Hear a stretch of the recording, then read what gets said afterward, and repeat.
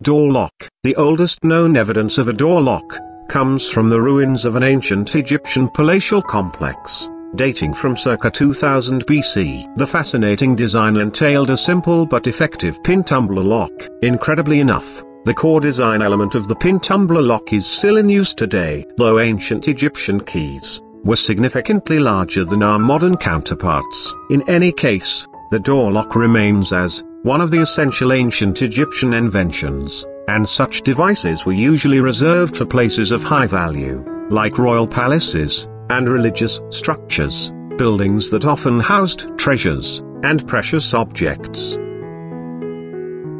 Police.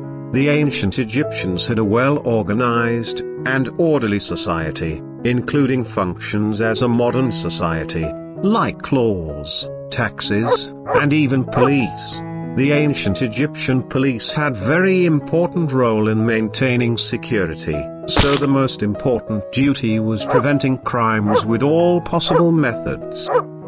The ancient Egyptians established what is known now about the criminal investigation. They knew how to use well-trained dogs to assist in chasing criminals. We have found a papyrus called Abbott Papyrus. It contains a lot of names of criminals and their crimes in addition to the work nature of police at that time.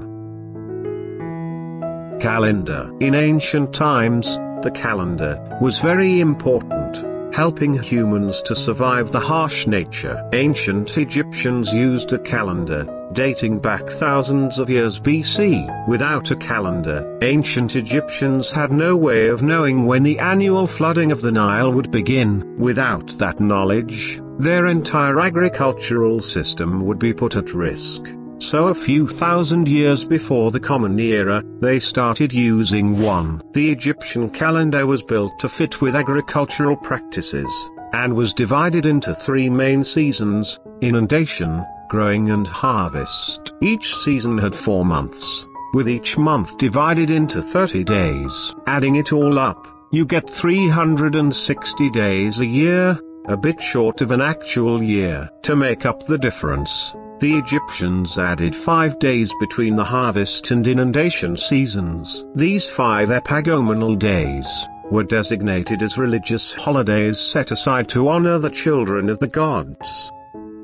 The plough. The Egyptians and Sumerians were among the first societies to use ploughing from the year 4000 BC. The first ploughs were improved from hand tools, so they were too light and ineffective to excavate the soil. Moreover, it takes four strong men to pull this plough. That all changed in 2000 BC, when the Egyptians first hooked their ploughs to oxen. Early designs were connected to the horns of cattle, but proved to interfere with the animal's ability to breathe. Later versions incorporated a system of straps and were much more effective. The plough revolutionized farming in ancient Egypt, and combined with the steady rhythm of the Nile River, made farming easier for the Egyptians, than perhaps any other society, of the time.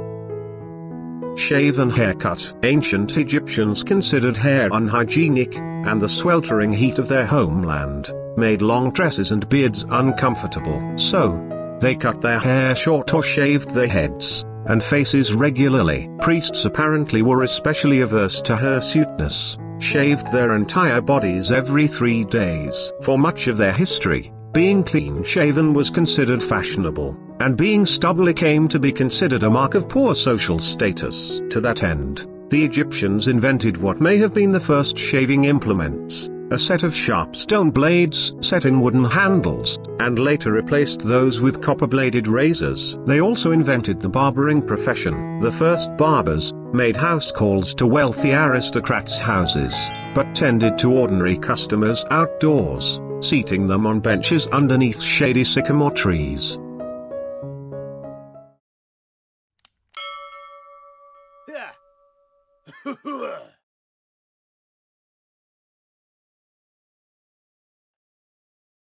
Ha ha ha!